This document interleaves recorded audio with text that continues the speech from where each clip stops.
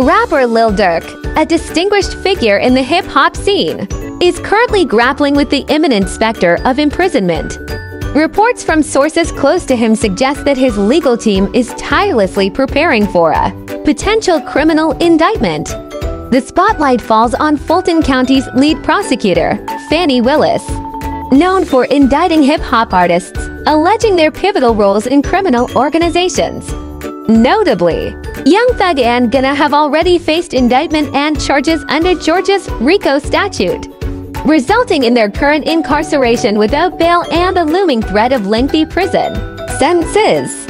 Durk's inner circle discloses that Georgia prosecutors are honing in on individuals associated with Durk's label OTF, tempting them with deals to provide information against Durk. Insiders suggest that it's merely a matter of time before someone succumbs to the pressure and agrees to cooperate, potentially implicating Durk. Despite these formidable legal challenges, another close associate staunchly asserts Durk's innocence, vehemently refuting any claims of his involvement with a gang and emphasizing that OTF is a label, not a criminal organization. In anticipation of a potential indictment, Durk's legal team has bolstered its ranks and is gearing up for a confrontational legal battle with the prosecutor. Notably, Durk has taken proactive measures by shutting down his Instagram page, deleting all past posts that could potentially link him to ongoing investigations by Georgia prosecutors. His Instagram, a platform with tens of millions of followers crucial to promoting his music, now remains eerily inactive. Delving into the legal context, a RICO case, originally designed to target mob bosses, proves remarkably effective against criminal organizations, even within the hip-hop industry. Unlike traditional criminal cases, RICO doesn't mandate direct involvement in physical crimes. Instead, prosecutors need to establish membership in a criminal organization and involvement in at least two minor crimes supporting the organization's goals. For rappers, these minor crimes often involve financial support to known gang members. The article concludes with a comprehensive explanation of how RICO operates within the legal framework. Amidst the tumult, a looming question arises, are the feds coming for Durk next? Lil Durk vehemently denies allegations of being an informant against the late King Von. Yet these rumors resurface due to assertions made by Charleston White.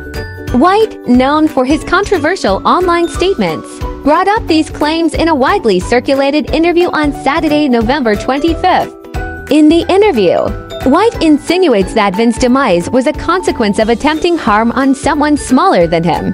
He criticizes Durk, asserting that Durk evaded legal consequences and shifted blame onto Von suggesting that Durk may have cooperated with authorities against his deceased associate. White goes further to claim that Durk isn't a killer, unlike Von, and underscores that others in the industry are merely involved in singing and rapping. He alludes to an incident in 2019 involving Durk, where the rapper turned himself in for charges related to a shooting outside an Atlanta restaurant. Both Durk and King Von faced serious charges, but the case against them was dropped in October of that year. Referring to the dismissal, White speculates that witnesses may have met. Untimely fates hinting at a connection to King Von's rise to stardom. Notably, Lil Durk faced accusations of snitching in 2013, which he refuted by sharing legal documents on Instagram, highlighting his unwillingness to incriminate a friend during the arrest. Despite the controversies, Durk's attorney celebrated the dismissal of charges in 2019, emphasizing that the right decision was made, allowing Durk to move past the events.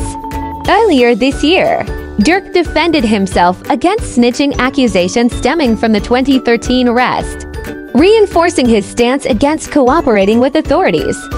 As the legal saga unfolds, the question remains, are the feds indeed coming for Durk next?